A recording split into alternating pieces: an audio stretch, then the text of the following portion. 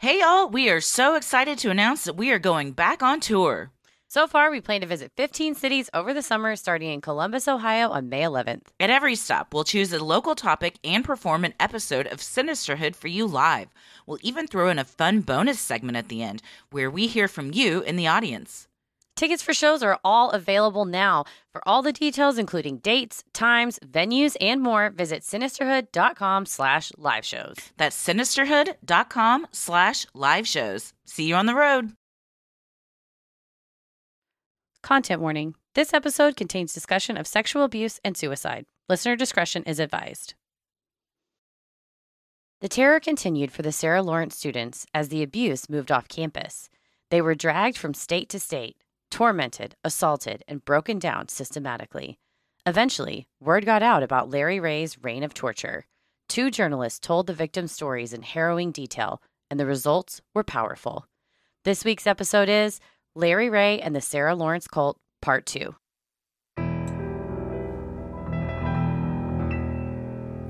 A bump in the night, your heart fills with dread. Probably a murderer who wants you dead. It could be a ghost, a demon, or worse. Perhaps you're the victim of a witch's curse. It's hopeless, you're doomed. You'd call a priest if you could. You'd rather just listen to who? Sinisterhood.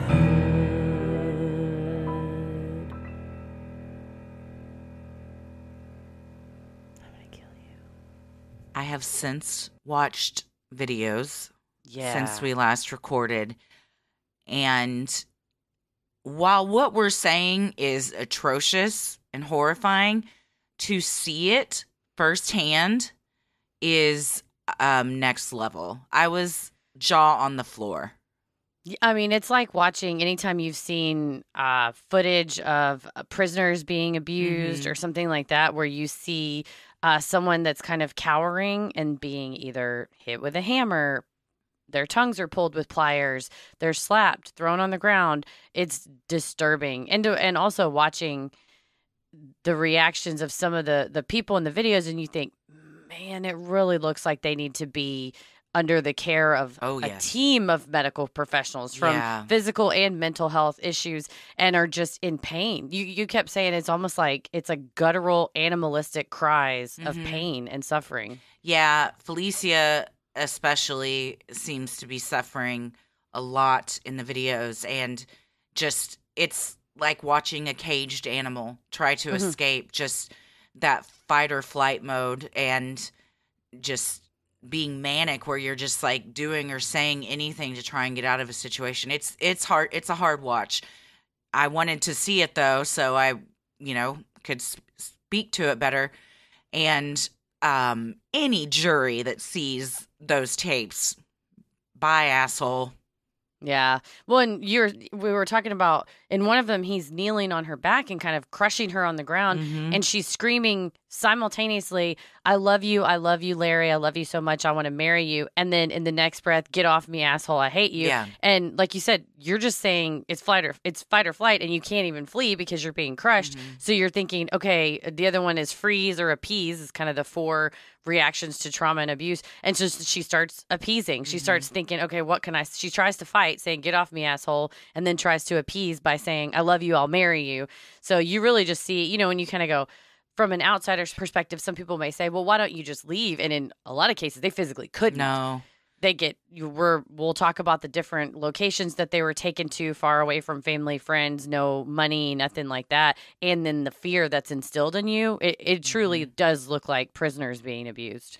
Oh, yeah. I've said before, I think one thing that I remember learning when I worked at the DV site was imagine all the reasons you don't leave just a normal relationship you're unhappy with, and then add on abuse, isolation, you don't have a car, you have no money, you've been stripped of autonomy, and it's infinitely worse.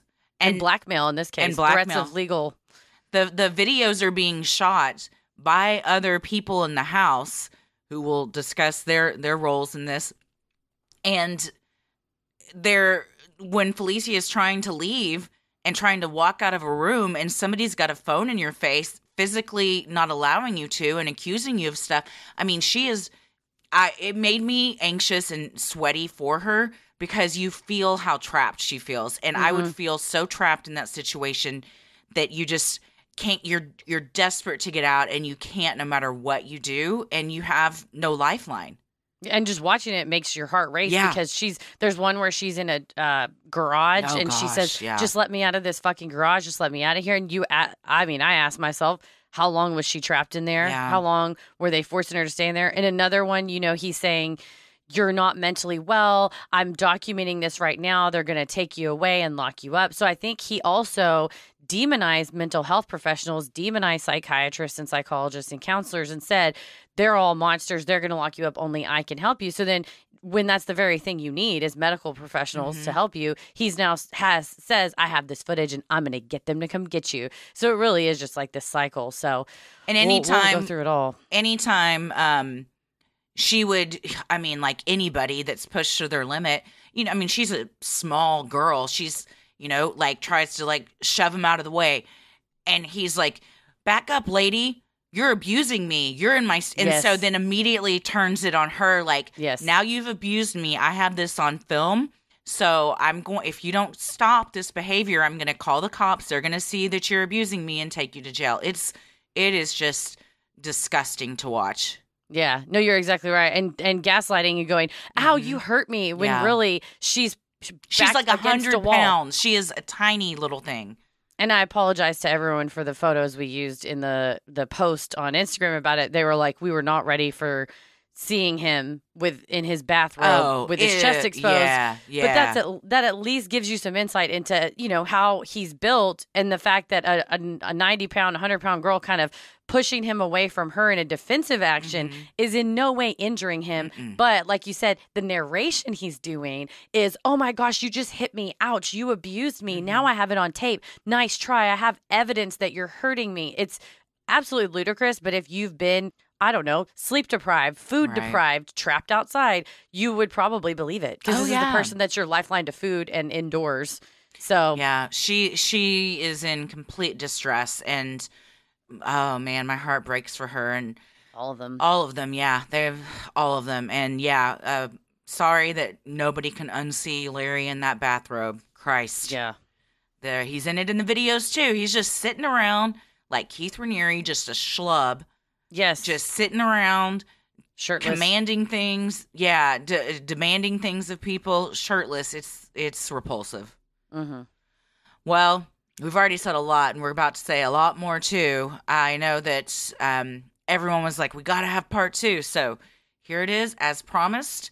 It's coming out this week because we consider sunday part of this week. Even though tommy was like saturday is the end of the week i said nay nay in my opinion the week ends at the end of the weekend I can't stomach the idea of a week starting on a Sunday. You got Monday mornings are rough enough for Right. all of us. Sunday, Much less. give us Sunday, please. Please don't steal Sunday from Don't me. take it away.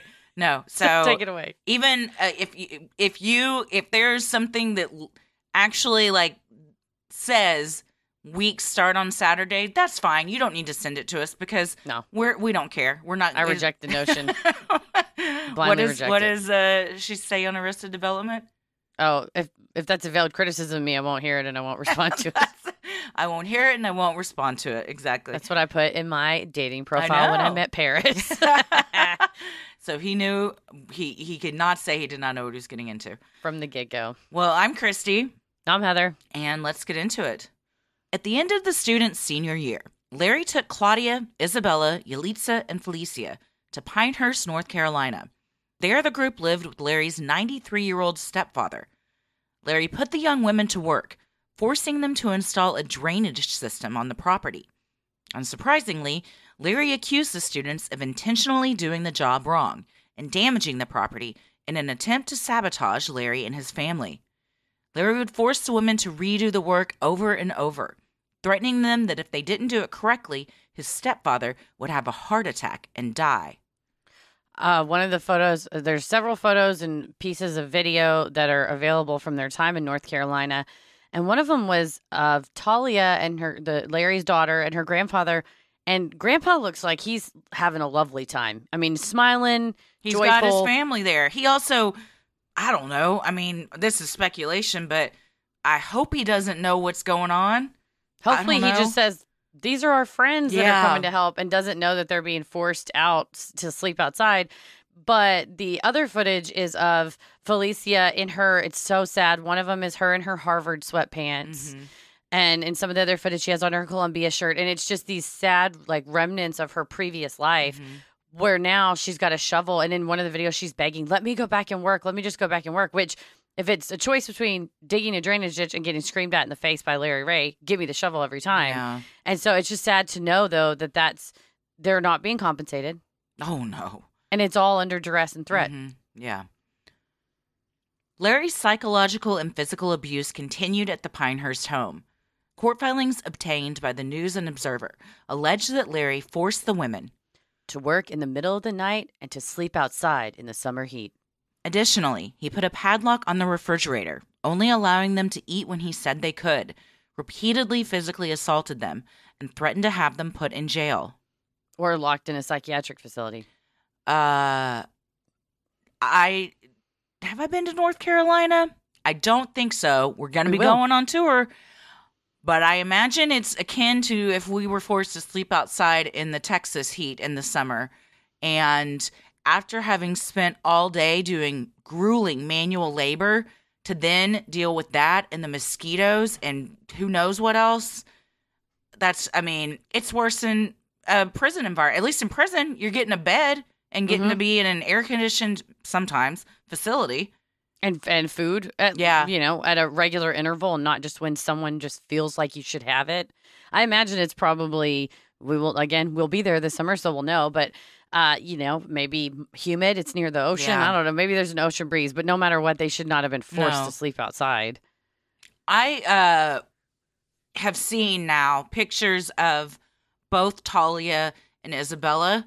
hmm It's shocking how similar they look. Almost, they look like twins, or Almost they look like they could be like Yes. sisters. Yes, So to know that he had a physical relationship with Isabella, sexual. sexual, that gives me even more pause to this whole thing. Yeah, there's, there's. uh I mean, we're not shocked to say Larry Ray is a disgusting pervert, but Right. having grooming, choosing and grooming and obsessing over a woman that's almost ident- uh, say a young, extremely young Yes. woman that looks identical to your daughter is a another layer of creepy. And the same age as your daughter. Correct. Yeah. It was during the time spent at the North Carolina home that Yalitza felt she could no longer endure the abuse and torture she had suffered for years. Larry called the police in October to report Yalitza missing, one of the dozens of calls police received from the home during the group's stay there. After searching the area, law enforcement found Yalitza unconscious in the parking lot of a Staples in Southern Pines. She had swallowed an entire bottle of Tylenol in an attempt to complete suicide. Yalitza was taken to Mount Sinai Hospital. Her parents were notified that their daughter was alive, but in a coma. After she woke, Yalitza's parents had her transferred to a hospital near their home so they could visit her every day. Then one day, they were suddenly no longer allowed in their daughter's room and were told if they wanted to speak with the doctor, they would have to do so with Larry present. It appeared that after Yalitza awoke from her coma, Larry had convinced her to give him control over her situation. Wow, for the parents again. This and this is this, the parents where it's the three siblings, Yalitza, Felicia, and Santos, Mhm. and now your daughter is in a coma, and now you're being kept away from her. You finally think, okay, maybe this is the last straw. Yeah. Um it's hard for me to say what I would do, but I have a pretty good idea of what I would do. Oh, to Larry. Yeah. Yeah. I'm, I mean, it's everybody has grace in the situation that they did not just uh, Oh, physically attack him. I mean, you maybe think, well, maybe if I attack him, I go to jail, then I look crazy, then I'll get kept from my kid. You know, you try to yeah. work out all these circumstances. I mean, uh, from a legal perspective, a lot of times parents get POAs, like powers of attorney for their kids that are going off to college, because once you're 18, your Mhm. parents technically don't have uh, the right to your medical records and things and making medical decisions. But in the event that he had maybe he had had her sign a POA or a HIPAA release or something. I mean, or even not. You just the doc. She tells Yeah. the doctors, "I don't want my if my parents show up, they're not allowed in here. They're the reason I did this. Larry Yeah. is the only person that I I want in this room. I mean, what? Their hands are tied. I saw. I would say it's expensive, but aside from going to get a guardianship or conservatorship, where you have to, you know, get a third party, Yeah. a guardian ad litem to represent her interests, Larry would then be cut out of the situation. But it's like cost prohibitive, and it's a Mhm. very stringent circumstance. Of course, it's like a Britney Spears type of setup that you would, I hope, you know, say, okay, it's a temporary conservatorship, but it's such a huge undertaking that. I mean, that's not even on your mind. Your mind's just like, I want her to get better. Yeah. And you shouldn't have to do something like that because a cult leader shouldn't, you know, he should, he's the one in the wrong here. How the end of the long would it take to for that to be approved if you did that? You can, sometimes you could get a temporary conservatorship in 24, 48 hours, maybe a couple be days. the route I would go.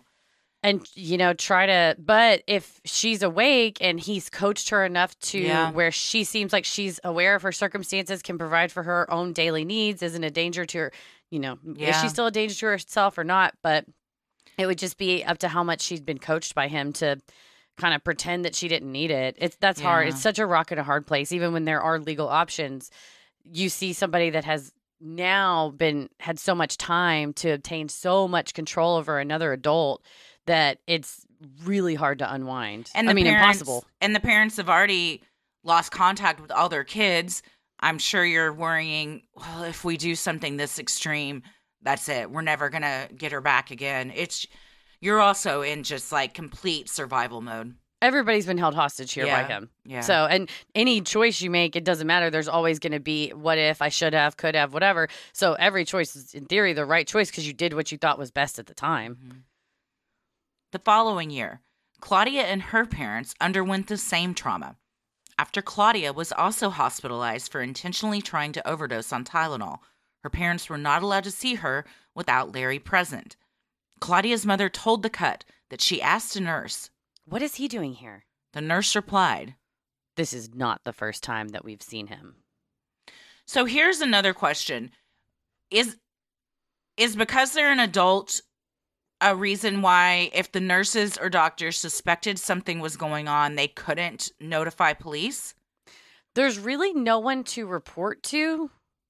I think if you thought it was like a domestic violence situation, you could report that to police. But if he's in there, probably turning on whatever charm he has and saying, Oh, I take care of her, you know, we're together, we're in a relationship, or I'm her mentor, I'm her friend, and you don't see him outright controlling, grabbing, manipulating her, the medical professional don't have anything to report. If there's somebody in Texas, it's kind of three categories. It's adults over the age of 65 children under 18 and then any adult with a like uh, disability. And so like you know uh, if they have uh, mental incapacity or diminished capacity. So in that case you know i know lawyers are mandatory reporters. Actually i think everybody in texas is a mandatory reporter if one of those three categories if, if you know of a person in one of those three categories who's been subject to abuse or you have reasonable suspicion of it.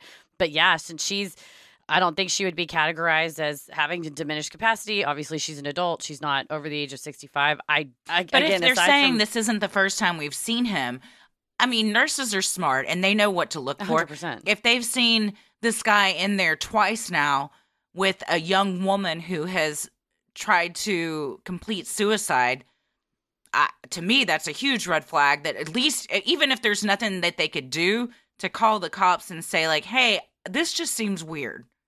Yeah, and there's nothing to say that they didn't. And you, you Yeah. know, you hear about that sometimes where it's uh, a totally correct hunch, but there isn't sufficient evidence at the time to investigate it. So then nothing happens. Yeah.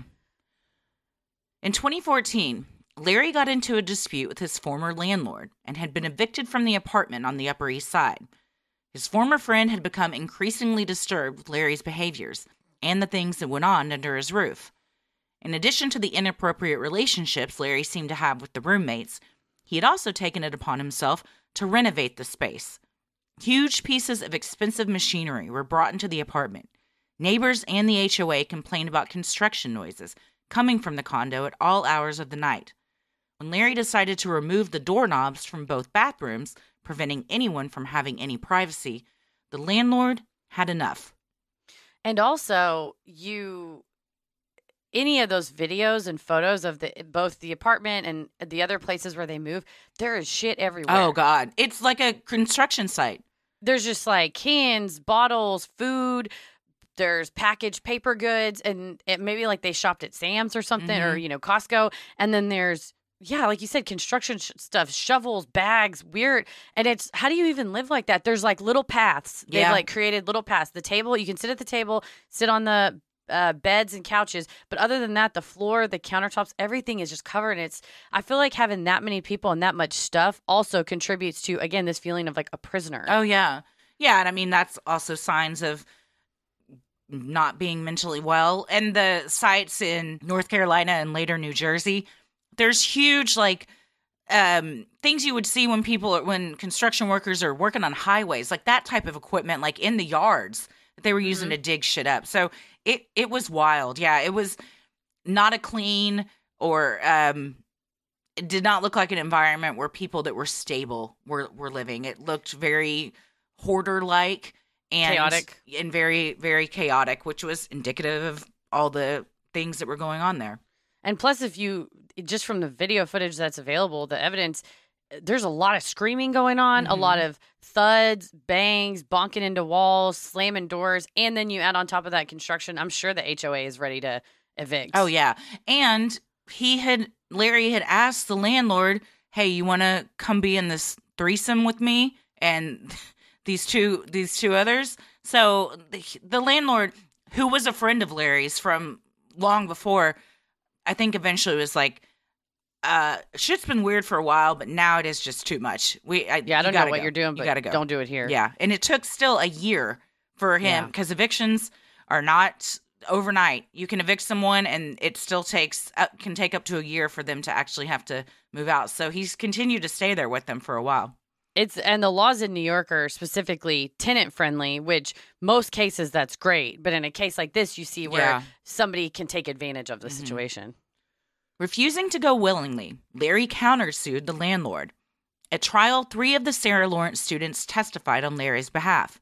The most disturbing testimony was from Claudia, who, despite having only met Larry at college, told the court she had heard tales of him since her childhood. She went so far as to claim that the former police commissioner of New York City, Bernie Kerik, had instructed her to poison Larry with arsenic, cyanide, mercury, silver, and lead, according to the cut. Supposed confessions of poisoning went even further. Larry later filmed Claudia on a bed, confessing to poisoning to both him and Talia. He would then use this footage to blackmail her, threatening to show it to police and have her arrested. Claudia was also working as an escort at this point, something she would later say at trial Larry forced her into as a way to pay him back for the alleged damage she caused to his stepfather's property. More situations just like earlier on with the custody dispute of having this evidence of always wanting to have a paper trail but he clearly planted these memories in her Oh, yeah. mind where she said when i was nine years old i heard stories that larry was being poisoned by bernie Kerik like from my grandparents. Yeah, and Yalitza testified too, and it was uh, almost verbatim the same thing. My parents, I, I heard them talking about Larry when I was young, and they um, were getting paid by government officials to for to poison Larry. I mean, yeah, it, it went deep. He got deep, deep into their psyches. yeah And when she was on the bed when they're filming this, she looks as if she has been drugged. Yes, and it's really disturbing footage. And then Larry later made it public and the and put it online with her name attached to What it. an So you- idiot! I mean, this is well, how we'll see. We'll see how that led to his undoing. yeah. But I mean, what an egomaniac that you think, oh, this'll get her, idiot. yeah. And he's like, if any anytime someone searches your name, then they're gonna know. In need of a new place to live, Larry headed to Piscataway, New Jersey, with Felicia and Isabella. Isabella had already graduated, but continued to live with Larry. The trio showed up at the door of Scott Mueller. Larry and Mueller had served time together in the Somerset County Jail. Now, Larry was asking Scott if they could bunk up once again. Larry told him that he, Isabella, and Felicia had been poisoned and needed a place to recover, according to the Intelligencer. And I'm sure, you know, at first blush, you say we're all we've all been poisoned. We need a place to stay, Mhm. and you want to do your Buddy a favor. Yeah. In exchange for letting them stay there, Larry promised to help Scott, an alcoholic, stop drinking. Scott's friends told the Intelligencer that while Larry did help his former cellmate kick the bottle, it came with a price. Since they moved in, they've taken over his house, forcing out roommates, destroying his property, and incurring massive property fines, while at the same time making my friend feel like it was his fault for not acting the way Larry wanted him to. Scott felt trapped, but unable to do anything. Larry helped him to recover, so there is this feeling of indebtedness about that. But again, it's he's only doing it to serve his own Yeah. greater good. He he's that's how he traps him. Look at all these good things I did for you, and you're gonna now kick me out. You're gonna try make me the bad guy when I've he he said that um, he was drinking like a bottle of vodka a day. He was Mhm. very uh, unwell, both mentally and health wise, and you know. And then he's like, "Oh, and the girls and I will help clean up your property, and we'll we'll fix all these things." Another pattern that's his mo is he creates all this emotional and physical destruction. Mhm. So then it's just chaos. And then he has all these things to now accuse people of and blame people for to just continue like pulling them in and, and making them feel like they're beholden to him. It's also another form of control because you can tell Scott, well, we'll leave as soon as the construction's finished. Mhm. Well, then you just keep doing and keep doing and keep doing. You know, it's never ending. And the same with, you know, North Carolina. Well, we'll go home as soon as my stepfather's property is finished. But Yeah. also, we need to do this. And also, we need, you know, he, it's just another way for him to, it's a guise of an, a, a date certain, but then he just keeps moving the goalposts. Like so many cult leaders. mm-hmm. Both neighbors and friends of Mueller said Isabella would do yard work at all hours of the day and night, often scantily dressed, sometimes almost naked. This was just one of the many reasons local residents called police to complain. Just like renovations to the condo and work done at the Pinehurst property, Larry had destroyed Mueller's property. Giant holes dug by heavy machinery filled the yard. A neighbor named Mike told the New York Post. They would tear it up, fix it, then tear it up again. Lots of people complained to the town about it. None of the neighbors knew what the hell they were doing. Inside the house, Larry had ripped up all of the carpet. Another neighbor told the Intelligencer the house was, Abnormal. and that the people that lived there were. Strange. This guy, Scott Mueller, at this point, I don't even think he had a key to his house.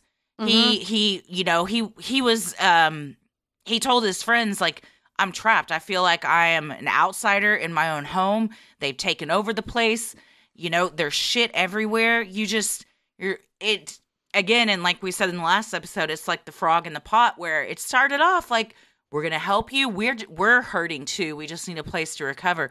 And before you know it, there's so many holes in your yard that at one time when the cops were called out because of noise complaints, they brought canine out there because they were like, surely this guy's digging bodies because Something. or burying bodies because there's so much shit going on. So they had dogs sniff around. They had those huge like earth movers Yeah, and yeah, stuff, yeah. and and you know you say, well, where the hell did Larry get all this money from? Well, sadly, we'll hear it. But he also owned he like had a website business where he owned domain names or something. And he's also But- a con man. Who knows? Yeah. And he's worked in the construction industry before. Who knows what connections he's yeah, he knows. But you're like you, you're the neighbor, and you think, oh, Scott lives over there. He's a good guy. He's pretty quiet, keeps to himself. He has a roommate or two, and then all of a sudden, there's a lady in a bathing suit, a bikini, underwear, whatever she's wearing. Digging up the yard at midnight, and you're like, "That's odd." And then a fucking earth mover shows up, and you're like, "I'm trying to go to bed." Yeah. And I have kids. Maybe, you Mhm. know. When Mueller complained, Larry would berate him for not being grateful for the help he was trying to provide. When first questioned about the goings on at the house by the New York Post, Mueller claimed that Larry was, a friend. And that he was unaware of any legal wrongdoings. I heard about the allegations, but I mean, that kind of thing don't happen here. I mean, what happened in the past, I don't know. You know, th- that kind of thing doesn't happen, you know, under my roof anyway. After years of enduring his own abuse, Mueller changed his tune and filed a restraining order against Larry. While it kept him at bay for a while, Larry moved back in when Mueller allowed the order to lapse, according to the Intelligencer. Well, and, you know, he's just, Larry is very good at wearing people down. Mhm. Yeah, I mean, it's his actual job. That's what he's dedicated his entire life to. It's about the only thing he does. Yeah. More worried about their daughters than ever, Isabella and Felicia's mothers joined forces and visited the New Jersey home. When Larry refused to answer after they knocked on the door, the concerned parents called the police to conduct a welfare check. Officers spoke with Larry, Isabella, and Felicia. When the police returned to the moms, anxiously waiting in their car, they delivered the devastating news. Their daughters didn't want to see them, and if they came back to the property, they would be arrested for trespassing. Man, so close, but so far away. Just to be on the curb and know that behind that door, your daughter is suffering. They um, showed up together, and Isabella's aunt was also there. And they had decided ahead of time we're just going to go and knock on the door, and hopefully they'll talk to us. And if they don't, then we'll call the cops. Well, they pull up. They said they saw uh, Felicia and Larry peeking out the windows and then they close the blinds. They don't answer the door, so they call the cops. And when the cops go, Felicia and Larry answer the door and they uh one of the mothers said just the look on Felicia's mom's face that she was actually seeing her daughter for the first time in years. Like she was smiling and so happy, but then it was so painful because she didn't want to see her. I mean, you're you're looking at your Mhm. daughter like 20 feet away. You can't hug her, you can't talk to her. It's I I mean, it's a pain that is just I I I don't ever want to have to feel that pain, and I hate that anybody does have to feel that pain. Yeah, and I'm sure like you're you just want to run up there and grab Yeah. you know grab her and take her home and just to be stopped. And then you're That's- told if you come back, by the way, this is private property. So sorry. And they said that like 12 cops showed up when they called, probably because they're very familiar with the home. Mm-hmm. And one of the cops kind of, you could tell, took pity on them and wanted to help them out, but his, his hands were just tied. But the other ones, they were just kind of like, they're adults. They can do Yeah. what they want. They don't want to see you. Sorry. That's sad. Very. In May of 2019, journalists Ezra Marcus and James D. Walsh published an article in The Cut detailing all of Larry's various transgressions. They had investigated him for months and laid out how he inserted himself into the students' lives, the manipulation he used to control them, and his relationship with the students after they graduated. In interviews with the authors, Larry denied several allegations, but admitted to taking the proceeds from Claudia's sex work. Claudia also told the reporters that Larry tied her to a chair and put a plastic bag over her head, causing her to fear for her life. This was the final straw for Claudia. When she told her former employer about the terrifying incident, he immediately booked her a ticket to leave the city that night. According to the Department of Justice, over the course of her four years of sex work, Larry collected approximately $1 million from Claudia. Yeah. So Ezra Marcus went to Sarah Lawrence. Yeah. And then At the same time as as one of them really know didn't know them. them, yeah. But he said that after the videos of Claudia admitting to poisoning Larry were made public, it was then, you know, people said, this is a person we knew. And it started kind of going around in the alumni circles of, do you remember her? And what is she talking about? And they said, oh, yeah, remember that guy that moved into the dorms all, you know, back Mhm. when we were in school. And then that's when Ezra started poking around. And then he, James was his colleague. They started writing this together. And he said that at first Larry was kind of suspicious of him, but then there's recordings available on the, the Cut website, uh, and we'll link it all in the show notes, where they put the audio recording of phone calls that Ezra and James had with Larry, and just how smug he is, Mhm. and how very open he is to admitting that yes, he was telling Claudia to to participate in sex work and then give him the proceeds. And he's like well claudia she you know it's great. She seems to actually feel guilty about all the stuff she's done to me. So you know it's great that i'm going to get this money from her. And just extremely damning admissions. And the i mean it just lays it out. That's the work of a good journalist. so good. You don't you just you open the door for them to talk and people like Larry want to talk. And you Mhm. just shut up and the more you shut up, the more they just spew forth everything. And I think it's a, a call with James, and he goes, all he has to say is, "Oh, really?" And Larry goes, and Yeah. just goes on this monologue, and he goes, "Oh, wow." Goes on a Yeah. monologue again. I mean, you're just sitting there going, "Record, like this is all on the Mhm. record," and he is just giving him giving him the whole deal. Writer James Walsh detailed his interactions with Larry in a 2021 follow up piece. Walsh described the difficult challenge of interviewing the master manipulator, writing. Getting a straight answer from Larry was like trying to catch a feather in a hurricane. After finding out he had spent time with an accused sex cult leader, many people asked Walsh whether he could see Larry's appeal. Walsh wrote, The simple answer is no. I've never agreed with anything more. Yeah. Uh, it's it's hard because I think it's the we've said it now a third time. It's the frog in the pot analogy where Mhm. you you don't go. He is such a hot guru. I want to learn from him. You go. Oh, it's my friend's dad. Yeah. Oh, he's gonna give me. He's harmless. I'm not even attracted to him because he's just a dad. So, yeah. you know, it's not even like you're, you even thinking about that. Mm-mm. But it's also easy for us on the outside and these journalists to go into this knowing what we know. Yes. And our obviously the way we think of him is completely different than how they went into it. Yeah. Well, and you you look at a photo of him, and we put it in the on the Instagram post of the pictures of him sitting on a couch in a Sarah Lawrence t-shirt, and he's smiling, and he just looks like somebody's dorky Yeah, dad that would probably tell you a pun and tell you about a cool time he, you know, when he was in back in my day, and we worked used at, to do with this. the FBI and the CIA and waxed No idea. philosophy with you long into the night. Yeah. The story in the cut was rigorously reported and fact checked.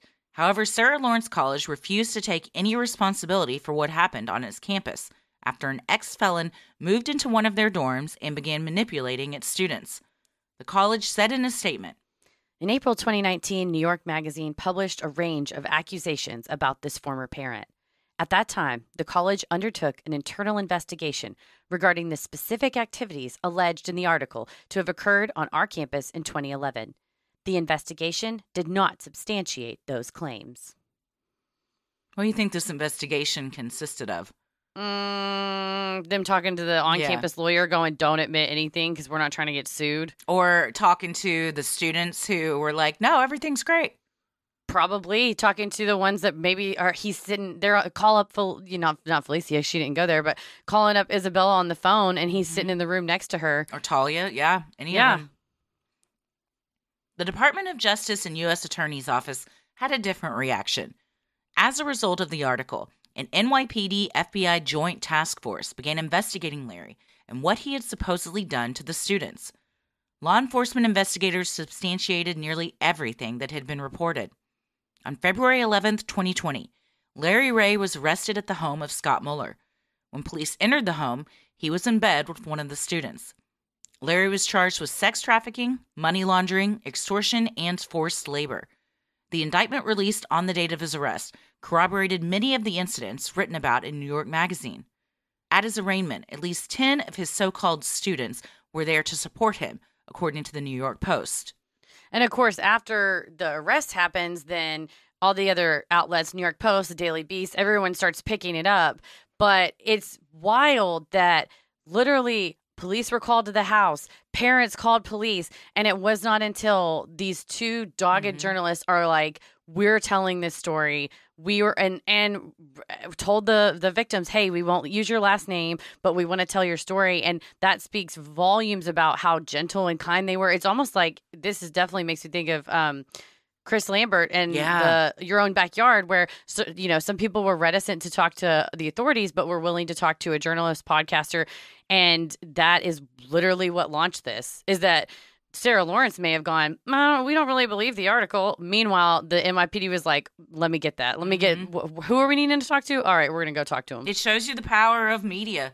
When Mhm. I mean, there's a lot of of good that comes out of two people that are just not on my watch. They make it their mission to, you know, I mean, cops and law enforcement, they've got thousands of cases, but when you have two journalists, one of which is tied even more personally to it because he went to that college when this was going on, you know, Mhm. you have a vested interest, you're going to dig deep and you're going to pull out things that others can't.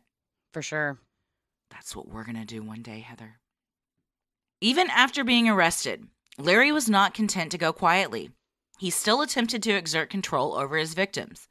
When he caught wind that two of the female victims would be testifying at trial, Larry reportedly said in an August 2020 jailhouse call with his dad That's never gonna happen. What they're going on is not the truth.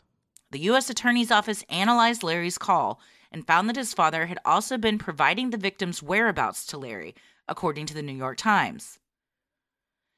I mean, both the stepfather and his parents are much older adults. Who knows what they're being told by this guy that his, I mean, since he could walk, has been conning people. Mm-hmm. And it did say the New York Times and the the uh, filings by the U.S. attorneys were, said his father. We don't know if it's his stepfather whose name he took or his biological father who he apparently didn't have a good relationship with. The article nine times said his dad, his dad, his father, his dad. So presu- I, we don't really know who he was talking to. It doesn't matter. The fact was he could not let go. Yeah, yeah. Locked up, facing all these charges. I'm sure he knew he had left a huge trail of evidence, but would absolutely not let go of his victims. Was convinced that he was still not gonna get in trouble. That this kind of like Murdaugh, like Mhm. even yeah, like you're just in such denial that you did anything wrong. You're like, oh well, I've been getting away with this for years, and everyone's been under my thumb. Why would it change now? Larry attempted to send coded messages to the victims via his father in an effort to intimidate them as well. For instance, he made his father remind the women that they had. Signed on forever. He also attempted to maintain his control over their associates, telling his dad, No new friends. There should be no one in anybody's life except each other. The New York Times reported the messages were meant to secure the victim's loyalty on the promise of marriage. In a complaint filed by prosecutors before trial, the assistant U.S. attorney wrote, These messages are plainly designed to tamper with witnesses and deter these women from cooperating in the government's investigation. The complaint went on to say, Most troubling, the calls suggest that Ray's ongoing communications are designed to ensure the ongoing loyalty of these women and to inhibit their ability to detach from the influence he commanded over them for nearly a decade. I didn't read anything that the father or stepdad, whichever one it is, was talking to the women or any of the victims to pass these messages on. It's a that's a big thing to ask of your older father. Like, by the way, you need to keep tabs on everyone and make sure they're not getting any new friends. I believe that it was written in the government's complaint that the father would say, We got company or I'm not alone. And then possibly that indicated that the phone was on speakerphone. So, but, you know, on paper, Larry was talking to his dad because you're prohibited from talking to any of the victims.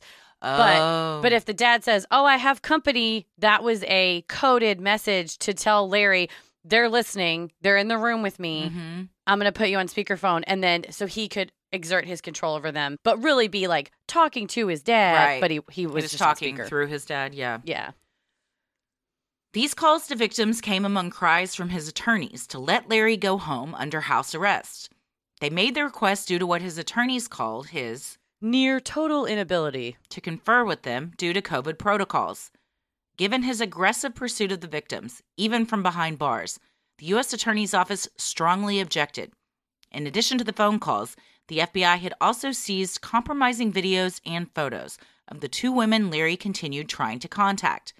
Given the disturbing nature of his behavior behind bars, Larry was not released to home confinement and remained incarcerated until his trial began.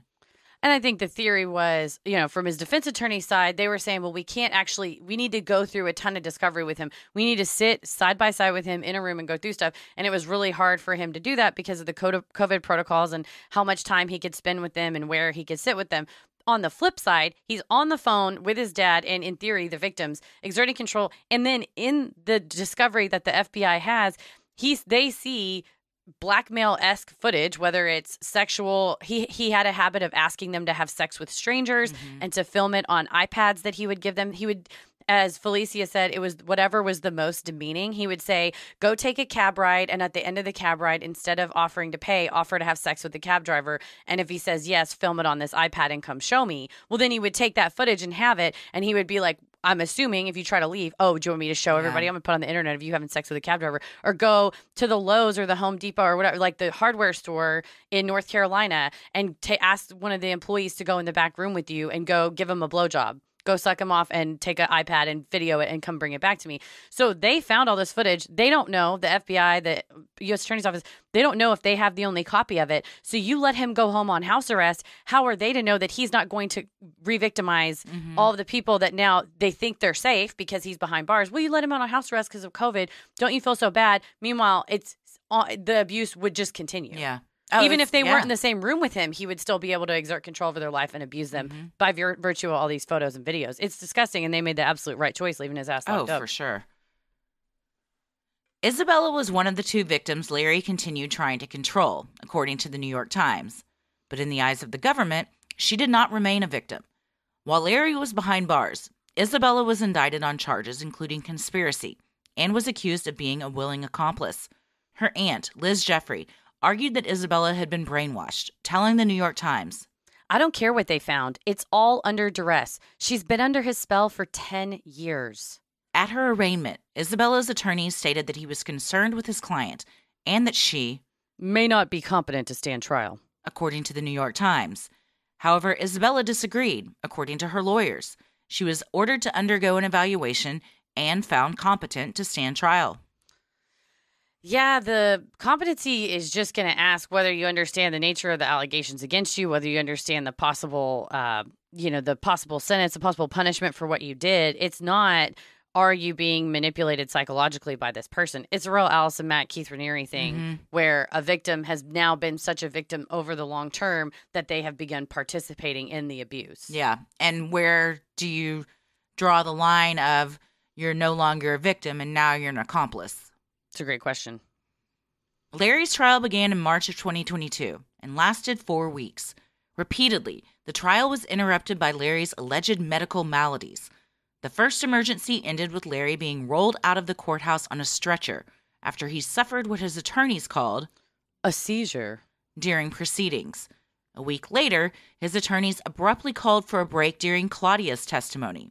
Claudia had been telling jurors what Larry had done to her, including forcing her into sex work for four years. The defense interrupted her testimony so that Larry could be removed from the court for medical reasons. And there's photos of the paparazzi Oh, by the God. paparazzi of him laid out. And I'm sorry, the look on his face, he's a fucking terrible actor. Oh, yeah. And uh, you know, trial experts will tell you it is it medical emergencies happen whether with a juror or with one of the parties, but to have them that close together that many times and like during some of the most damning testimony, it was I think and I think I'm right one more way for him to exert control over Claudia. Yeah. Like, you're not going to tell your story. I'm going to stop you. I'm going to show you how. It's also like freezing the kicker in, in football. Mhm. Like you just keep calling Calling timeouts. timeout. in the if if he does all this in the middle of like what is very harrowing testimony that the jurors are hearing, it possibly you know decreases the effect it had on them because now all this shit got thrown in the middle of it, you know, and it and it it broke up the power of what she was saying.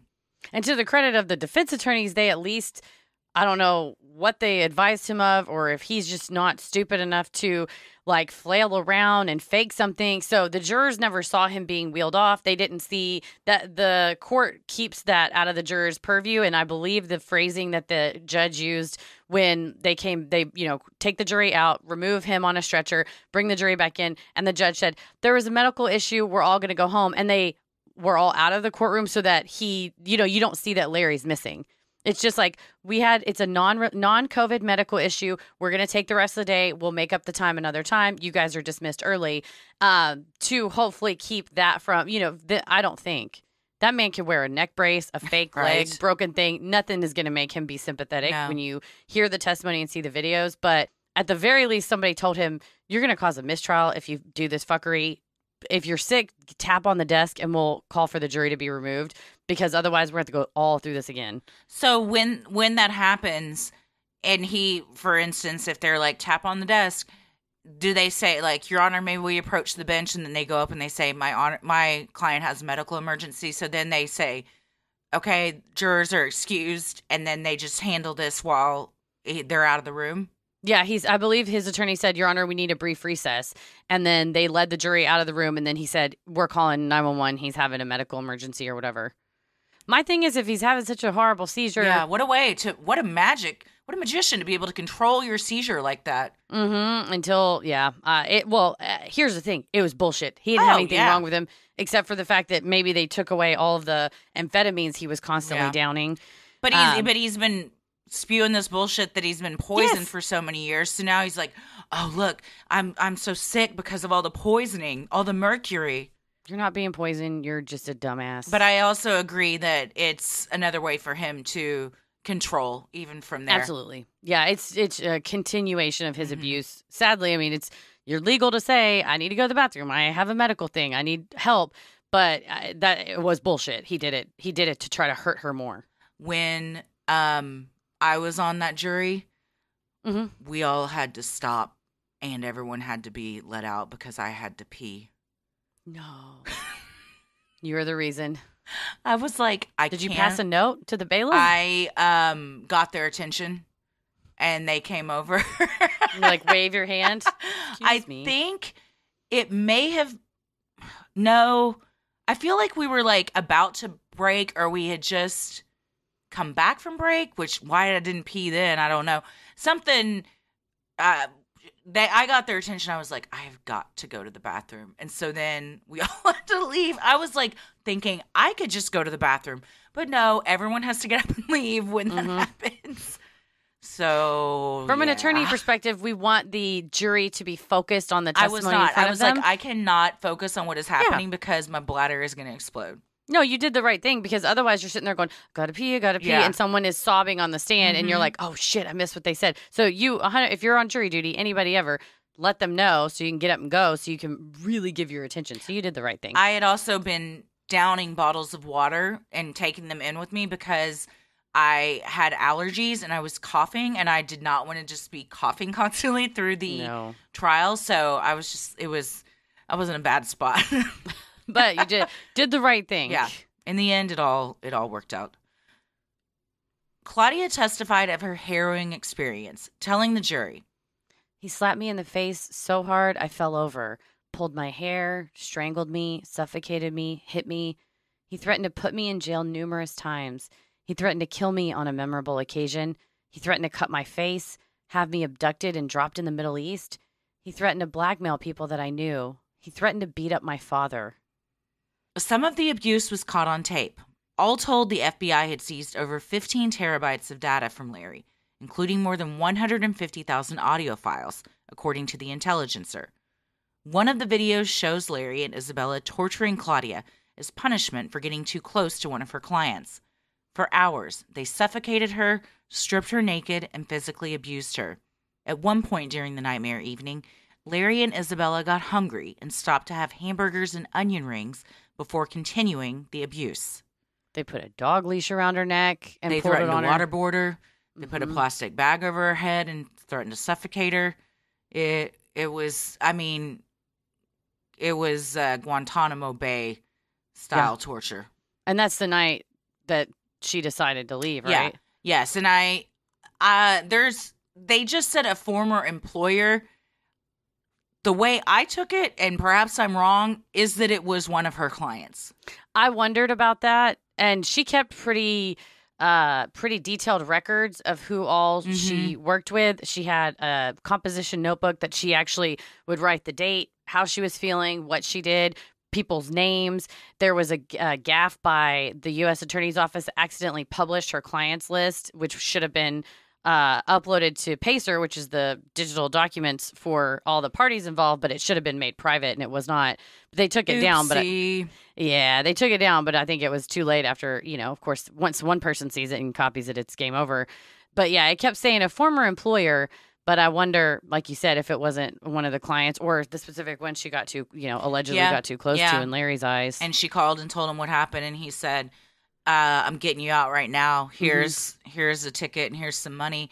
And i believe she i don't even know if she packed anything. I think she just left. And then larry called you know police saying she's missing. I can't find her. And first of all she's an adult. Just like all the Mhm. reasons your her their parents can't talk to them she can leave. You're she's an adult. You you don't have this isn't an amber alert situation. No, leave her alone. But he can't. He can't help himself. He wants to control her. Yeah. In addition to Larry's medical emergencies, Claudia was also forced to hear her integrity attacked. Defense attorneys tried arguing that Claudia Enjoyed sex and BDSM, went to sex clubs, and has a problem with truth telling. in an effort to discredit her, according to the Daily Mail. Defense attorneys also argued that Larry was the victim, having been poisoned and physically attacked by the Sarah Lawrence students. Everybody is entitled to a good defense. I knew you were going to say that. However, this is a rough one because of Yeah. 15 terabytes of data, including the videos. I will, I will uh, extend my deepest sympathies to the defense attorneys here. I, if I'm not mistaken, they were appointed. They're appointed federal Yeah. defenders, which is a very difficult job. And I imagine when you have a client like Larry, if you go, hey, you should plead out and maybe Mhm. you'll just get the 15 years on the sex trafficking charges because you're fucked because we have written records and evidence, all of Claudia's written records and evidence. We have All you this video. a, a ton of video of you physically abusing, forcing them to do the labor, and we have audio recordings of you in interviews with James and Ezra from the cut where he admits Mhm. to the sex trafficking. That is of all the allegations, everything he did I think was horrible. But the one that has the highest criminal penalty under federal law is sex trafficking. And that's the one that he freely admitted Mhm. on audio recordings with the journalist. So, as a defense attorney, you're probably like, hey, man, let's talk about a plea deal. I imagine when you have a client like Larry, who is in any scenario extremely hard headed and extremely controlling, you can only do what you can Yeah. do, and you only can work with the information given to you, which is. They poisoned me. And Yeah. you're like, really? Do you have like evidence of that? Bernie Kerik told them to do it. I know in my heart. And you're like, fuck, I'm going to have Yeah, there's also like you can go to the doctor and get a bunch of tests done, I imagine, to see if there's poisons in your blood. And none of that was presented. But when you're his defense attorney and they're showing footage of Daniel having his tongue held with a plier, I mean, it is gruesome. hitting and- with a hammer, Oh, punching him in the gut. Just h- taking this, it looks like a meat tenderizer.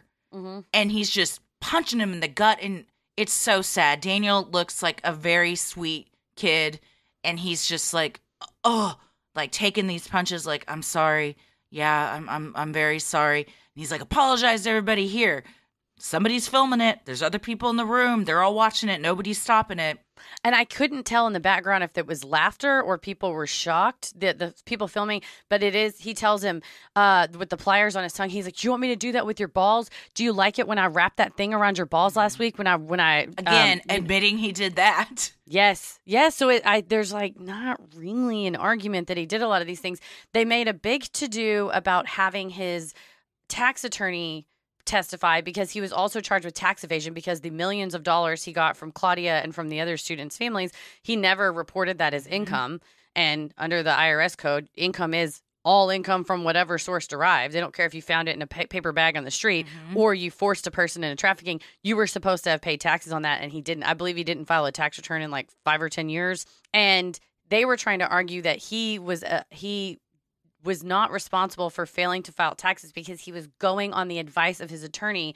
And God help this attorney who got up there and testified, "Oh yeah, but he told me that she was doing sex work for him, and I told him that he didn't have to report that." what There's a I can't even, I don't have time to get into why all of that is incorrect and wrong. But they made this really big deal about trying to say, well, he, he, he, he didn't do the tax evasion though because he got this bad advice. why wouldn't a was like- lawyer go on the stand and say that under oath I D- don't. I mean, is that grounds for getting your license revoked? Uh, maybe somebody could complain. I wonder if Larry wants to complain. He's like, this guy gave me bum advice. Uh, But yeah, and- but I you- mean, admitting that. Well, you have, t- you know, attorney-client privilege where you say he told me he's having this lady as a sex worker. I can't go. No one's going to imminently die. I can't break attorney-client privilege. Yeah. I can advise him not to continue an ongoing criminal enterprise and say I can't assist you. I would argue that's probably an ethical violation if your client tells you, "Hey, I'm forcing this woman into sex work. I'd like your advice on how to continue doing this." He And you go, probably didn't worry. say, I'm forcing her. No, he probably said she's giving she, me money. She's, she wants to be do. She owes me money, and she Mhm. really likes this. And you know, because they did bring her her diary into evidence, and I don't think she was in the mental state of mind to even really fully understand what was happening to her. So Mhm. they used a lot of what she said against her, and, and some of it looked as if she was enjoying it. she was not in. She later said, "I was being forced into this," and she, Yeah. you know, you say what you have to say and to get through the day, and not just lose lose your mind. So I mean, nobody can blame her for anything that went on. No, and who's to say that he wasn't reading that diary? And she thought, boy, if I write something in here, he's gonna hit me with a meat cleaver, put a bag over Yeah. my head, or whatever. And you think, okay, well, I gotta write. He or he, as if. I don't think it would be shocking to learn if he made her write that diary. He made her sit on a bed Yeah. and say that she poisoned him, and she never that's a poisoned good him. point. Who's He's just sitting he- there over her shoulder while she's like, "I what loved did what, I did today." Yeah, right what you did today and it said that she uh, and and it, they don't ever identify you know of course it's all redacted and everything but one of the things she said oh i i effed a policeman Yeah. in the ass today and he really loved it and i loved it and i said this and this to him and everything and who like you said who's to say larry wasn't like write down what you did today say Mhm. that you loved it and sat there and made her write it yeah, i don't know no, yeah, so true. but yeah i don't think uh, Uh, as much as i think everybody's entitled to a defense as much as it is in your client's best interest to impugn the integrity of a adversarial witness you know you want to say this person has int- no integrity i don't know that enjoying sex and bdsm or going to s- sex clubs have any bearing no, on the fact that whether or not she's telling the truth. If you want to say she said this before, she said this different thing now, and you're trying to impeach the witness, completely fair game. I think accusing someone of in a negative fashion of enjoying sex and BDSM and going to sex clubs is slut shaming, and I Oh, don't. yeah. I, I don't think that that to me that's irrelevant. they're trying And to draw a parallel between the two, but all they're Yeah. doing is slut shaming. And also, sex work is real work if Mhm. you are doing it of your own Because you volition want and you to, yes. want to do it. She If was you're being, being forced, forced- into it. No, To yes, give- tortured. That hundreds of thousands of dollars Millions. for something that she w- did not even do, that she was accused of doing. So she's not even doing it to try and pay back an actual debt. It's just this uh, fake debt that she's been convinced that she has she owes now. And it's all and again moving the goalposts. He's moving the goalposts Mhm. every time. And also, you know, I hate to say it, but he had. I don't hate to say it. I love to say it. He admitted all of it. Yeah. He admitted to doing this. He admitted to getting the money from her sex work and wanting her to do it, encouraging her to do it, telling her how much to charge. Her name on the website where she advertised her services was a combination of his daughter's names. yeah. So he had a hand in a lot of Oh, stuff yes. that she was doing. Yeah, yeah. Testimony from other victims described Larry using pliers on their tongues or beating them with hammers while berating them and threatening them. These stories were also corroborated by extremely disturbing video footage, which the jury saw. Assistant U.S. Attorney Molly Bracewell's closing argument painted a powerful picture. When his victims were completely subdued, when they were under his control, he committed crimes to get them to pay extortion, forced labor, sex trafficking, obstruction of justice, financial crimes. The defendant did all of this for control, for his own greed, and to increase his power, to cement his position in the organized group that he led. The defense's closing argument accused the victims of lying about their experiences, despite there being audio and video evidence corroborating their stories in the terabytes of data the FBI had seized from Larry's own devices. In the end, the jurors deliberated for less than a day and came back with a unanimous verdict. On April 6, 2022, Larry Ray was convicted on every count, including racketeering conspiracy, a violent crime in aid of racketeering, extortion, sex trafficking, forced labor, tax evasion, and money laundering offenses. Larry faces a mandatory minimum sentence of 15 years on the sex trafficking charge, in addition to the sentences he faces on the additional charges. He is scheduled to be sentenced September 16th, 2022. He is scheduled to die in jail. So he gets at least 15 years. I think at this point he's 62. So, as we Doesn't all know, look- I'm not good at math, but 62 plus 15 is 77. Yes. So, and then he's going to get stuff on top of that. So, yeah, I think it's, I think there's a good chance he doesn't come back out. Yeah, I mean the racketeering conspiracy carries a maximum life in prison. And if you'll notice in Molly Bracewell's closing, she said the organized group that he led. So you have to mm. prove a concerted, organized effort for things like this. And yeah, racketeering conspiracy is a maximum life in prison. The conspiracy is a maximum 20 years. Extortion's max 20 years. Sex trafficking is maximum life in prison, minimum of 15 years. The forced labor is 20 years. Forced labor trafficking is 20 years. Conspiracy is 20 years. Uh, he violated the Travel Bye-bye. Act. Yeah, four counts of tax evasion. He's Each done. count of tax evasion is a maximum five years, and then the money laundering is a max 20 years. No. Bye bye, asshole. Yeah, Rot he's in going. jail. He's going. And plus, you do not have. He didn't plead. He's not helping his case. He does Right. not at all seem to give a shit. He no, he's not seem, remorseful in the least. He doesn't think he's done anything wrong. He has not helped the government. He No. shows zero remorse, and these are all In things. fact, under he's wasted everybody's time and money by making this even go to trial. Yes, and yeah, waste re-victimize all the victims over and Mm-hmm. over. Was trying to talk. So a ton of the stuff that where you would normally see it would possibly go in your favor in the sentencing guidelines. He's done the opposite of those, and you are now aggravating the judge and the system and the you know whenever they look at it and they go, well, here's the guidelines, and you really check a lot of the boxes to get the maximum. Do you think ever that defense attorneys are secretly glad they lost a case? I'm sure. I mean, they have souls, right? I, I think again, your your job as a defense attorney is not to like get your guy off, no matter what means Mhm. necessary. Everybody deserves a fair trial. Your job is to ensure that the government does its job and proves its case on every element of every single charge beyond a reasonable doubt. And there are some times where, in this case, they did all. I mean, you do what you can do, Mhm. but there was hard evidence for all of these crimes. Again, he's on audio recording saying he accepted this money. Well, okay, can you show us a tax return where you claimed all this money? Oh, you didn't? Okay, there's tax evasion. You know, so There's video of him holding hit the kid's tongue with pliers and beating him with a hammer. and saying, you know, go out and work on the yard or I'm going to beat you more. Well, there you go. That's forced labor. That's violent crime in aid of your forced labor and your racketeering. So the all of the elements of all these crimes, I mean, obviously the jury found that, but are proven beyond a reasonable doubt. So you as a defense attorney go, I did I was there, I did all I could, I presented the evidence I could. They did not have Larry testify, which I think was very smart because he is Oh yeah. a piece of shit asshole. And i after you see him beat the shit out of people in videos, what are you going to go? Hey, so in that video, Yeah. you were yanking that kid's tongue out with the pliers. Can you give us a reasonable explanation for what? There is no explanation. You know he. someone. You know he. They had to like convince him not to. I'm sure. Oh God, I would have loved to see that cross though. I mean, he and he's an idiot and doesn't. I mean, as, as much as I say he's an idiot, I mean, I think he's clearly calculating and manipulative. Yeah. But I think he's so egotistical Yeah. that I imagine he would have said something on the stand during direct examination that would have opened the door during cross to extremely damning evidence. Mhm. And so his defense attorney is not putting him on the stand. Excellent idea. I Mhm. mean, it's still the the effect is what it is. He still got convicted, but I think that could not have helped him No. whatsoever. No. Not have helped him at all. No. Absolutely not. Talia was described as a co conspirator at her father's trial, but has not yet been charged. The New York Post reported in 2020 she was living in North Carolina near her grandfather's home. Talia's Twitter is set to private, but her public bio is a message for her estranged younger sister that names the girl and says, I love you and miss you every day. XOXO always, your big sister.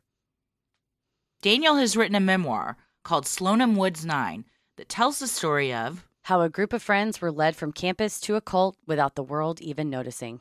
He told The Cut that he realized he had been in a cult after stumbling onto a website that listed tactics cult leaders use to control their victims. Yeah, he said he was just reading it, and every single thing is like, oh, Larry did that. Oh, Larry did that. Yep, that happened too. And then by the end of it, uh, a bulb goes off. I was in a cult. Yeah. And I was it I believe it was Daniel who in the interview said even therapy was difficult for Yeah. him because it was the same tactics Larry used to try to get manipulative inform you know, Mhm. manipulate information out of him. Even though it's now a safe space, that's still probably really triggering that Oh, you're like, well, the last time I talked about all this. He also said he it's really hard for him to go to parties because he's always fears that he can't leave. Like I mean, the Mm. PTSD that all of these people must suffer and the ongoing trauma and triggers is I mean, that's a lifetime of therapy. Absolutely. Isabella, who has been described as Larry's lieutenant, and has also been named as a co conspirator, is scheduled to stand trial later in 2022. She's the one holding the phone in a lot of those videos, and you know, it's the one where Felicia's in the garage and she's, you know, just in a complete state of distress, is you know, kind of trying to slap the phone out of Isabella's hand. And the language Isabella uses is so coached and just regurgitated. Felicia, you are a danger to yourself. You are in my space. You are assaulting me. Please stop assaulting me. So then, you know, I mean, it's all these buzzwords of assault. You're a danger. You're out of control. Oh, well, now we have this all on film. We're going to call the cops and show them how you were abusing us. We're the one, we're the victims here. No, for sure. And she she sounds like a mini Larry, which Yeah. you ask yourself if you're put in the position where you're either going to be body slammed on the ground and have Larry on top of you, you're going to be put in a chair with a leash around your neck and a bag over your head, or you do everything he says and you become a mini version of him Yeah. to survive. Probably that's why she chose that Yeah. that path. Uh, it's the same moral gray area we asked with Allison Mack. Like you said, if you've been victimized so long over so many years and you've been broken down, are you really in charge of your own actions anymore?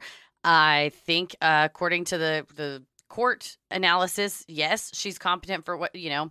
Hopefully, like with Allison Mack, you know, you plead out, you say, "What can I do to help?" Although the door, the window's kind of closed on that. Like if she really wanted to be helpful, you know, you go and you help the prosecution build their case, or but in this case, I think it's maybe trying to save your own skin. You know, it's it's more survival. She's been trying to survive for the past you know ten plus years. and she's still indoctrinated. I mean, that's a hard Mhm. thing to let go of for if when you've been in a cult for that long and been under that control to just you know get over it. You, that just Yeah. doesn't happen. You know, You have to- yeah, you got to be deprogrammed.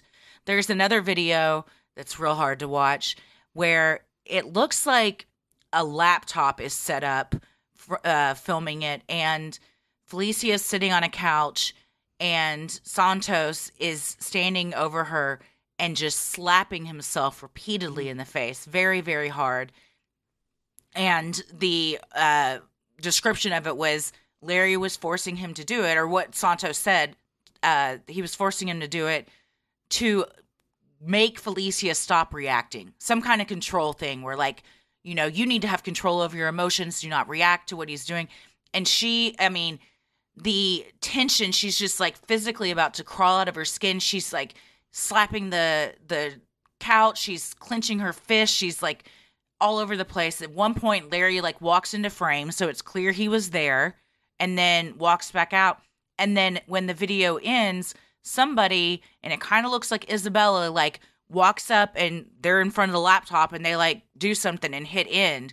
So she's also there and watching this and you know being told to film it or or something. So i think it's going to be an allison mack situation where they're going to say yes you were a victim but at some point you also became complicit in this and i i don't think her sentence will of course be near what larry's is but she'll probably get something I think so. And, you know, hopefully, if there is the cooperation and anything that she can provide as far as uh, remorse, any of that stuff, and and that is a mitigating circumstance. If you you know you plead and say you know I did it, but it was under duress, and I feel really bad about it, and here are the ways that I want to make amends, that could go to lowering her sentence. Mhm.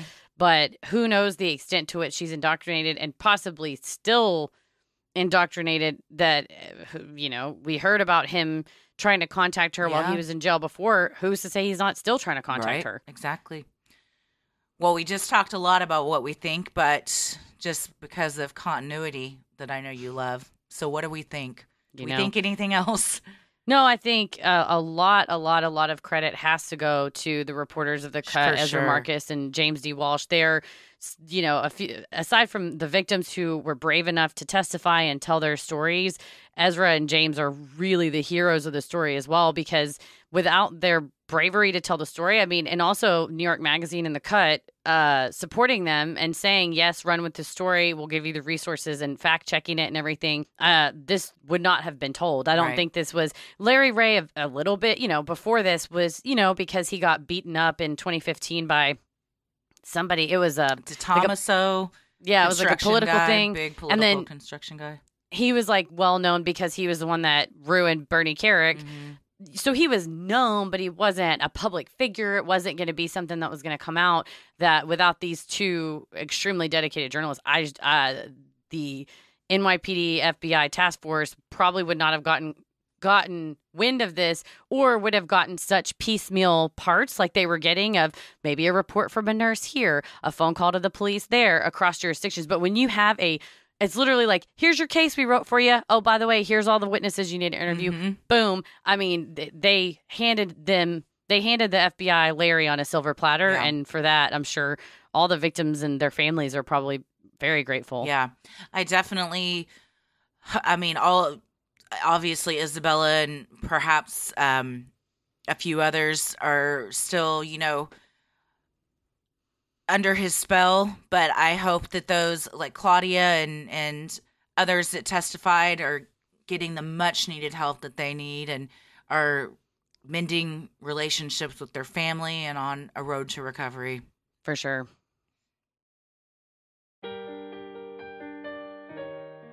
We love providing Sinisterhood to you at no cost, so if you like what you hear, consider supporting the show by donating to our Patreon.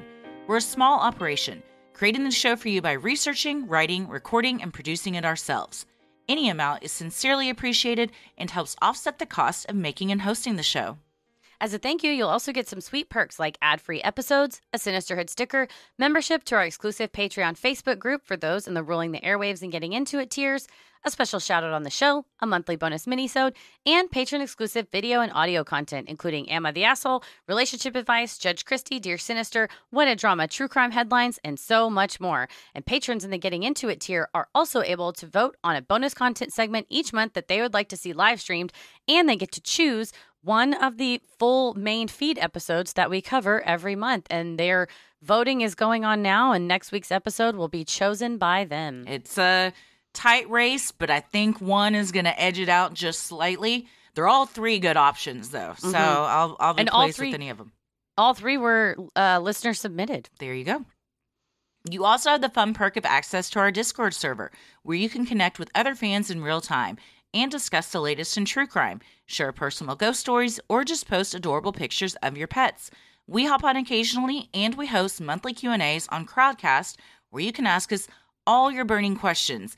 And my God, was this last one uh righteous? burning. Was it not righteous, Heather? It was righteous, my dude.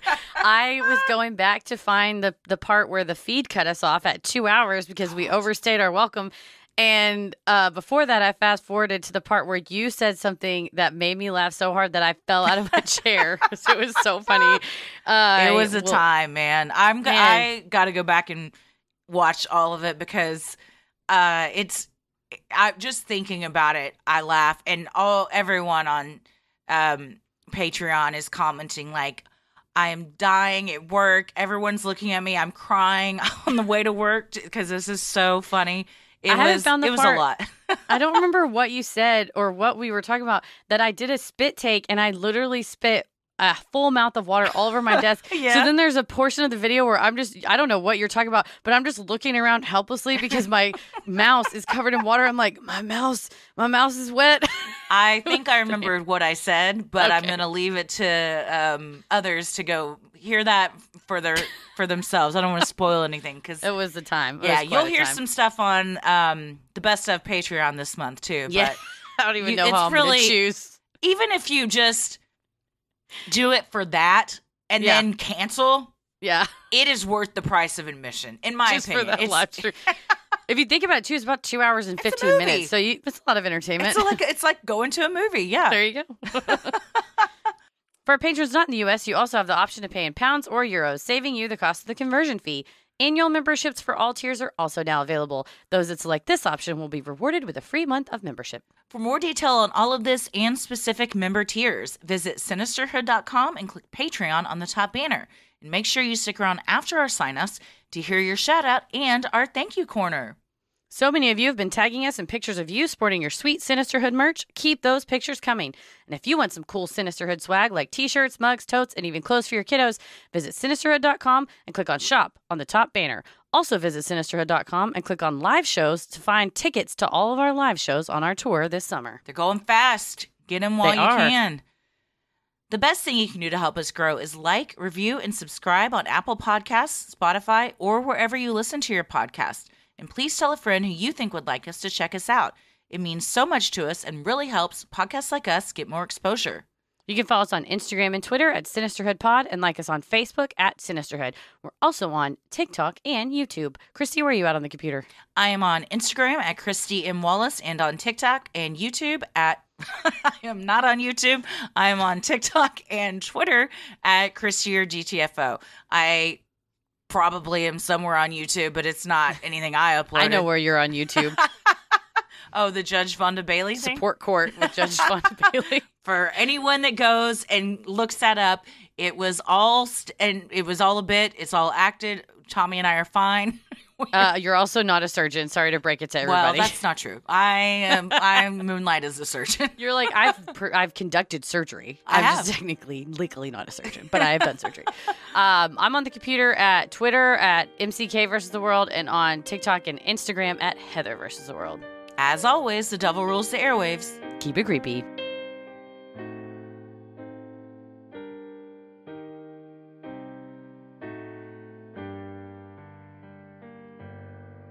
Hey, everybody. Thank you so much for supporting the show on Patreon. Here are your special Patreon shoutouts Megan Shupp, Laura Rossbrug, Molly Lasenko, Marjorie LaJolie, Shawnee Griffin, Megan Doherty, August Moreau, Ryan, Christina Dennis, Elise Esperanza, Pavla Sabakov, Jenna Lazaro, Victoria Buckus, Myra Gama, Jasmine Foster, Laura B., Lindsay Simonton, Nicole Baguski, Chrissy Kern, Lisa Dretsky, Megan, Bo Marie West. Hey, Thank you. what's up, Miss Chicago? you. Yep, we will see you in Chicago shortly.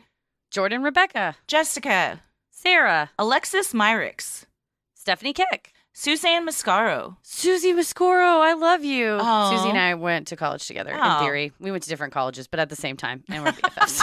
Is that how that works? yes, we went Well, to then college I went to college with a lot of people. We all, in theory, everybody went to That's college. That's true. Yeah. Alyssa Bacon, Alicia Clark, Emily, Heather Hansen, Shanna Goodman, Steph, Melanie B. Not the Spice Girl, although isn't that exactly what the Spice Girl would say to throw us off the scent? Every time, Kaylee Mack Brenner, Malia Conover Lisa Janes, and Kalani Berry.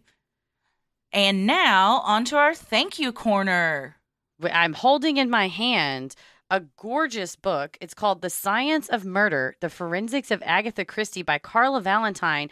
And this was sent to us by Madeline Brown of Sourcebooks because Madeline is a longtime listener. She used to work at the library. She said we got her through many a shift uh, organizing books on book stacks. And now she works for Sourcebooks in Chicago, which is shout out to Chicago. We're about to be there. And she thought we would enjoy this book. And so it's all about how Agatha Christie used science in writing her books and how some of her cases in, that she wrote about are based on real, Mm-hmm. um, or some of the stories she wrote were based on real cases. Yes. and the, the cover art I love. So, mm-hmm. It's so super nice. fascinating. It's on sale May 24th, 2022. So it's an advanced reader copy. They're so and honestly, special. I was going to say, I feel very fancy having an advanced reader copy of anything. So on May 24th, 2022, grab yours if you like Agatha Christie murder, murder stories, or science. It's fun for the for everybody. for everybody. It works for everybody. Yes. Thank you so much, Madeline. And thank you so much to all of our patrons. We could not do this without you. We sincerely appreciate it. Stay safe, stay healthy, and keep it creepy. Wah. Sinister.